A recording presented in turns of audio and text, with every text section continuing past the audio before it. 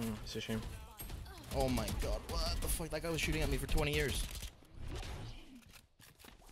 Oh, there's a guy like uh right. Uh, to your right when you come in that window.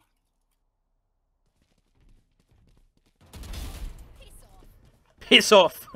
oh! Up. Nice. Daniel, jump Nice. down here and come out. Oh, I haven't.